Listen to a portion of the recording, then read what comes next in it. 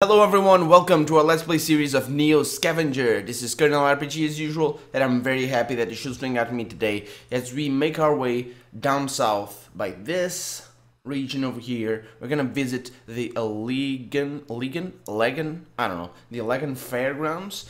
We're gonna, we're gonna visit, let's check our status right now. Everything seems to be more or less fine. and onwards we go. Last episode, oh, actually, yeah, I might sleep over here. I might sleep just here, and hopefully I'll be alright. Hmm. We still don't have a sleeping bag, which is a problem, because we are um, insomniac. Uh, Philip Kindred is an insomniac, so he's now sleeping. Good, good, good. Keep keep at it, mate. Keep at it. So he's sweating. Okay, that's good enough for now. Um, yeah, that's gonna be fine. Okay, so um, yeah, I'm kind of excited about the illegal uh the illegal fairground. Might be an illegal fairground, but it's not. That's not its its name. The illegal Allegan fairground. I don't know.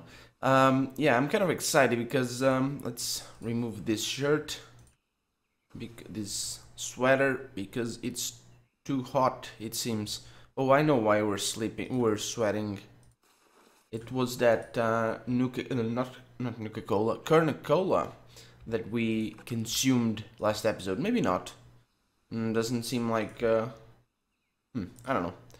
Let's not sweat our clothes because that's a okay there's hmm Hmm. Let's let's try and spend the morning scavenging, but unfortunately, not a whole lot of loot. Okay, we're now comfortable. Let's equip our hoodie, because after all, even though the temperature is rising, dog is roaming around. Feral dog, okay. I don't really know, I need to be... Okay, so probably, uh, so it's more or less around these parts. I'll try to... I'll try to... Um... Okay, there you go. There we go. The, the dog has probably seen me. The dog has probably seen me and an arrow right there. Great. That is great. Um, so this spoils my plans a bit because the dog is gonna be after me. Okay, so there's... Hmm, I'm not sure. I'm not sure of, of the whereabouts of this fairground. Hmm, okay, binoculars are in pretty good shape. I'm gonna bring them with me. And those pens are in pretty good shape as well. And a red elegant fairgrounds t-shirt. So maybe it's somewhere around these parts. I don't know. I don't know. I'll have to risk it. No! Okay, not here. Maybe. Maybe it could be over there. But the dog is right on top of... Oh, there it is. There it is! The Elegant Fairgrounds. And I'm sorry if I'm driving you crazy by pronouncing it wrong, but oh well, I don't know better. I don't know better. The area around the Allegan County Fair is pretty unassuming once sleepy neighborhoods with attached homes make up the bulk of the area, with, street, with streets lined by aging trees, not much different than any other place you've walked lately. So yeah, we've been here before, and uh, we have explored this fairground, or these fairgrounds, and we have been scared of the roaster, of the rooster, but we have not explored much farther. Let's scan the area. You hold still for a few minutes, surveying the area. There's a lot of debris here, and many good places to hide, but there are no signs of movement, movement, no silhouettes, and no eyes glinting from the shadows. It looks clear. Yeah, but it didn't feel clear. So let's check out the tents. Uh, they are pretty run down. Weather and time have done their work over the years. Most everything looks faded, soiled, and waterlogged. Yes, we've... Okay, so we've... Hmm. I'm gonna take that clown head, and I have an idea. I have an idea. Um, my idea is to equip it. In my head, yes, that's right. And uh, and we can see very well, but hopefully, I don't know, I don't know, I don't know what's inside the Illegan, the Illegan, the Elegan Fairgrounds. That uh, entity that made. Let's salvage some tarp. Okay. Okay, so that's at least something to bring home with us, besides the hideous clone head. Clown head, not clone head. Maybe it's a clone clown? I don't know. Okay, um, and let's check out the hall. My idea is basically, I don't know what's, uh, what's inside, and maybe the clown head is gonna... So, right here, Passing through the doorway, your nose is assailed by the stench of stale perspiration, urine, and rotting teeth. And this description right here scared me last time out. I really, I'm, I'm, I'm, I've never done this, this location before in my previous playthrough, so I'm not sure what's in here. Um, and that clown head might have something to do with it. I don't know. I don't know. Let's try and, I'm not gonna shine a light I'm gonna examine a booth labeled genuine genuine Indian artifacts. Genuine or genuine? I don't know. I've heard it both ways. Genuine is neither the word you'd choose to describe most of the wares in this booth, but um, but the person who wrote the sign. Not nor the person who wrote the sign. Most are obvious fakes designed to liberate tourists of their burdensome wallets. Things like lucky rabbit's feet, miniature re resin totem poles, and dream catchers lovingly made by a machine in East Asia. However, as with many sidewalk vendors, the view beneath the table is a bit more interesting. Swaddled in some grimy blue plastic bags, you find evidence that there was something else for sale here. Several loose cords suggest there may be there may have been jewelry, and there are bits of, there are bits of worn tanned hides. There's also a heavy, tightly folded square of paper, taped shut. As you pry open the folds, a string of copper bats pours into your hands.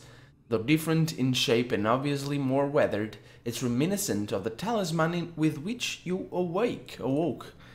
And copper bats on a string. Hmm. We've seen this before.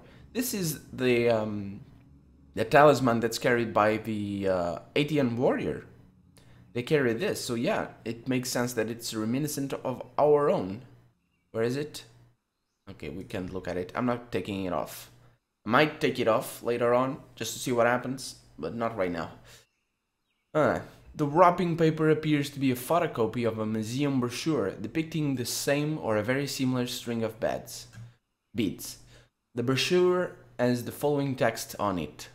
Ziibiwing Center, Anishinaabe Tribal Nation Michigan. Looks like someone was doing a little bit of black marketing in history artifacts, historic artifacts. Conveniently, the photocopied brochure is driving directions to the Anishinaabe Tribal Nation and Ziibiwing Center near Old Mount Pleasant, Michigan. Oh, that's interesting.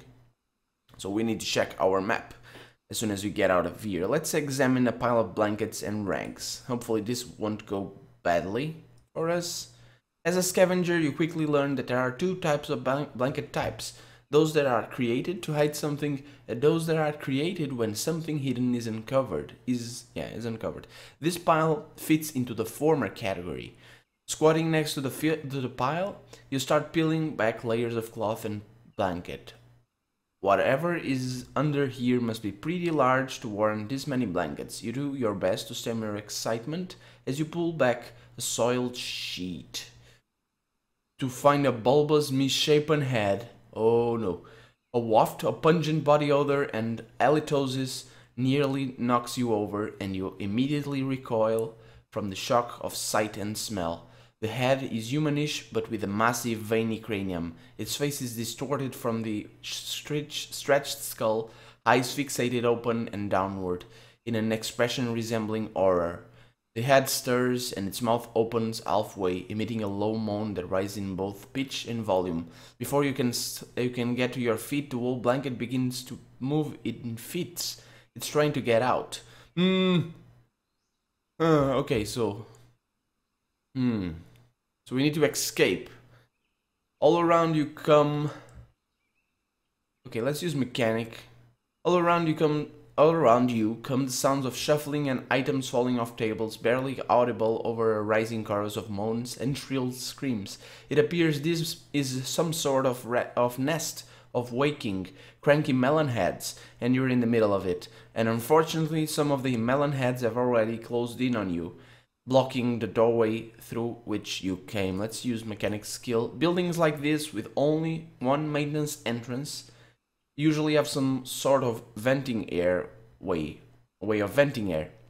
It'd be up. You jump onto a booth and start scrambling up scaffolding to the rafters. The melonheads swarm the area below you but aren't making any moves to climb yet, so you've got a minute. Uh, you don't spot any ducting to a, a gables up here, to the gables up here. Gables? Gables? Gables. But it looks like a chain and pulley further in might be the ticket. Carefully climbing across the rafters, you reach to the chain and pull down on it. The force tilts a roof panel open and you're able to squeeze out onto the rooftop. Cold, fresh air never feels, never felt so comfort, comforting. Let's jump down. You're not out of this yet though. Still have a still have to find a way down. It'll take the melonheads a minute or so to figure out where you went, so options are limited. Hmm, we're gonna get hurt, aren't you? Aren't we? Not much time for anything fancy, just shimmy as close to the edge as you can and drop. You climb to the edge, lower your feet over and give a little push. Yes. BAM! Despite trying to cushion your fall, it feels like every part of you hits the ground in rapid succession. Sharp pain shoots through your body, your nose tingles, and you lose focus momentarily until your head until you hear the melonheads round the corner of the exhibitor's hall. Biting back the pain, you gather your stuff and hobble away out of the fairgrounds. Yes, so this is the fairgrounds, which I'm not gonna re-enter. Yeah, there it is. Uh, and uh, let's look at our. Yeah, we didn't. We got a few minor bruises. Not not much of a problem. So right arm, upper chest, basically bruised, battered, and pelted. Not. Okay, so we got a bit. We got to know what was in there because last time out I I panicked and I ran away. Uh, yeah, it's melon heads, so figures. They smell bad from their mouths and sweat. Okay, hmm, so we are burdened. Mm hmm Okay, there's a melon head, so they are looking for us. Oh, hopefully they are not gonna find us because they seem...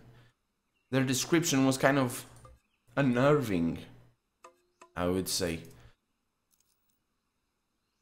that description of the head. I'm not. I'm gonna leave this behind because because I don't think this is really. Should I leave this be this behind? Hmm.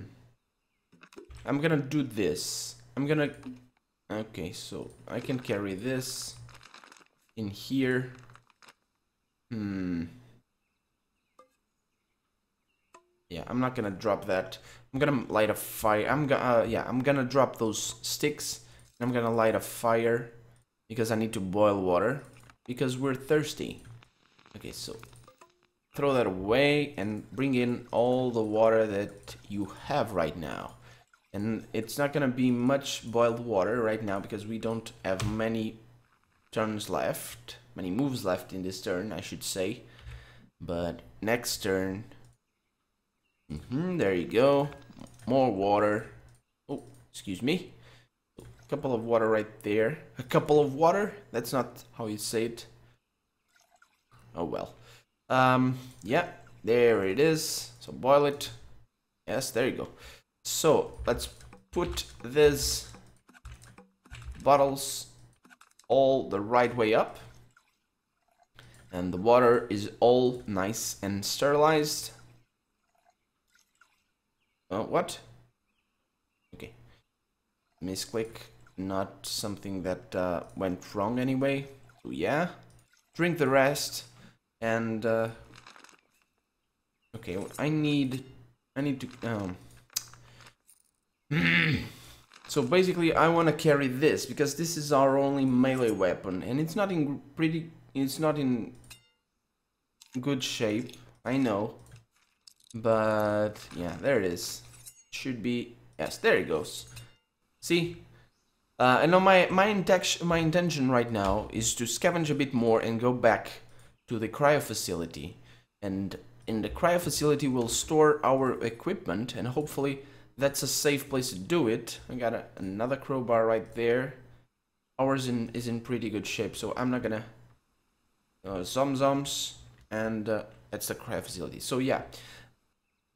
The ATN is over there, and we don't want to go over there to the isotope mine that we found with uh, our previous... Okay, the melon heads are around these parts. I'm gonna scavenge. There it is. Yeah, he's going back whence he came. It's good. So, more loot and some pieces of newspaper. That's good because I want to tear that newspaper apart for our fletching purposes and good. These these are lockpicking locations. Not every location can be lockpicked and when they can that's good news. That is good news. So what's not good news is that our lighters are getting a bit on the used side of things. Hmm.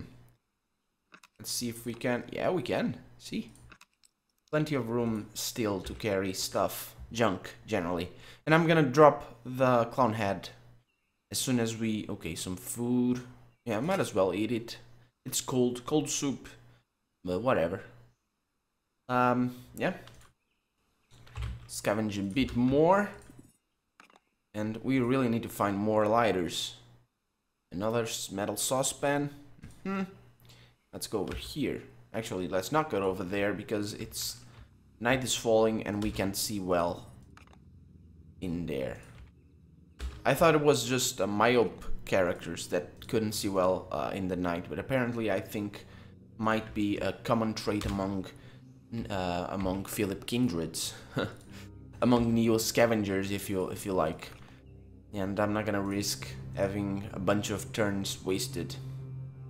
Uh huh. So it's uh, the map. I'm gonna tear the map apart as well because it's a possibility. There it goes. There you go. So our arrows are crude broadhead arrows. Really? It, it's it's an interesting thing to imagine actually. The um, okay, I'm not gonna go there. I'm gonna go here. Uh, the way the arrows are shaped. Can you imagine like an arrow with a bit of newspaper on the fletching? or a map. Oh, that's very nice. That is very nice. So that's gonna take care of our encumbered state, hopefully. Let's equip all of this very neatly in in the same order that I have uh, that I have it to equipped over here, and good. So our yeah, there you go. Because this carries a lot more stuff.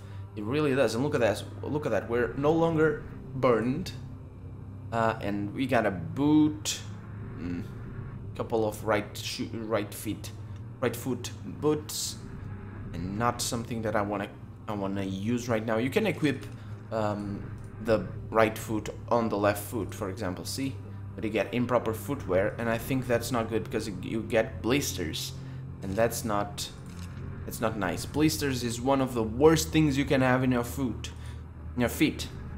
And uh, if you never had one, be thankful, but you're probably gonna have one some sometime, someday. Okay, I'm looking for the map. Where's the map? Where is the map? I can't see the map. Come on, the map. There it is. There it is. Okay, good.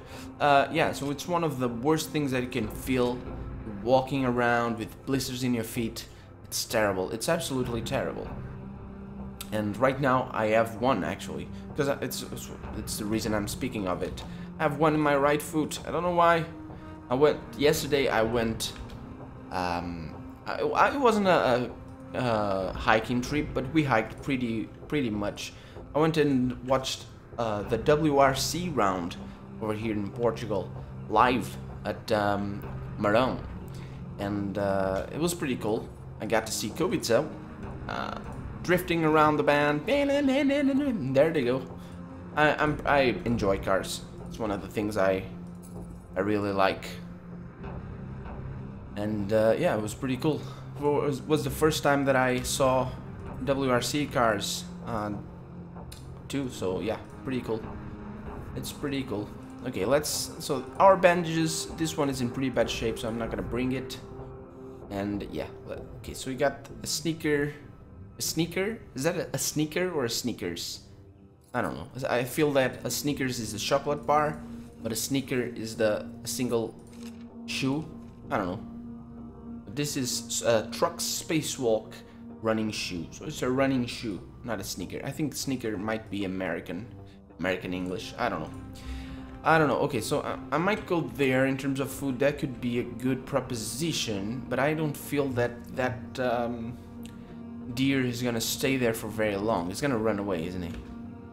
He's probably gonna run away. Yeah, he's not here. I'm gonna camp right here. So the only tracks should be from the deer. This one provides a little bit of shelter, so we might as well take it. Get our noise traps in there. Okay, we have troubling falling asleep. Oh no, this might be the... Yeah, this might be the deer. Oh, it's a melon head. Oh, it's right on top of us. Hmm, let's attack it. Did we miss? We missed. Come on. Oh, he's kicking us. Okay, so I'm gonna try and get up. Did we miss? We hit. Good. Okay, so he's he's punching us. Okay, we are in we are being hit and he's being hit as well. So he's recovering. I'm gonna equip my I can't equip my stuff. Come on, we fell. Will it fallen vulnerable? Okay, fallen again? He's kicking us down. Come on, don't! Don't you dare! Don't you freaking dare. Let's crawl away, crawl away. It's behind cover. I'm gonna pull him down and get up and run. Seriously, ditch the vehicle and run. Okay, we fell. I think. Run, come on. Okay, he's running at us. We don't have any more arrows, so we're gonna need to equip our melee weapon because, yeah, I don't feel that arrows are the appropriate weapon. Uh, so, threaten. Oh, I know what might be threatening to them. Is the crown head. So he's coughing blood and we're in pretty bad shape as well. So he's running away. I'm not gonna let him run away because he has our arrows. I'm gonna surge him. So he's unconscious. Good. So... Oh, come on. Scare me like that. We're, we're still not...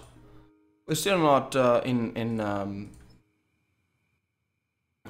still not safe and he wasted a bunch of arrows trying to kill that guy. We're still not safe because all of this... We got a patchwork hide tunic, good. And uh, because the reason we're not safe is that... Okay, so no cuts. He just punched us. So we're just uh, in pain. Hmm, and we made a bunch of noise probably. I'm not gonna sleep right here. I'm gonna try and put some distance between this location and um, I'm gonna scavenge. Sneak is still pretty good. Yeah, we alerted nearby creatures. Let's eat. Uh-huh, let's eat. And yeah. Let's go away. So we got a deer probably, hopefully. Oh, a feral dog. No, no, no. He's vulnerable and frail, so I'm gonna blast away as in, he's unconscious. Good. So that went well. Hopefully we didn't lose any any arrows, but we probably did. We probably did. No, we didn't. We we we oh we found more arrows. So this dog. Okay, so I'm gonna. Oh, I should I should it's a... I should dismantle the dog and I should eat it. But the problem is it's getting late. It's I mean it's getting late for our sleep time. And I'm either I'm to carry it with me and I'm to dismantle it in the morning because that's I feel that's a better way of dealing with our current situation and I'm to try and sleep and I'm to equip my bow and arrow because might as well and good, good, we're sleeping. Okay, so let's sleep a little bit more. And uh, the problem is the dog is falling apart pretty quickly, but we only need a big chunk of meat to, to sleep. Okay, so yeah, let's let's go for it now. Let's go for it now. Let's not waste waste any more time. And we're only in minor pain. That's good. But anyway, I think that's gonna be it for this episode. I'm Colonel RPG, and this has been Neo Scavenger. I hope you've enjoyed it, and I'll see you next time. Bye bye.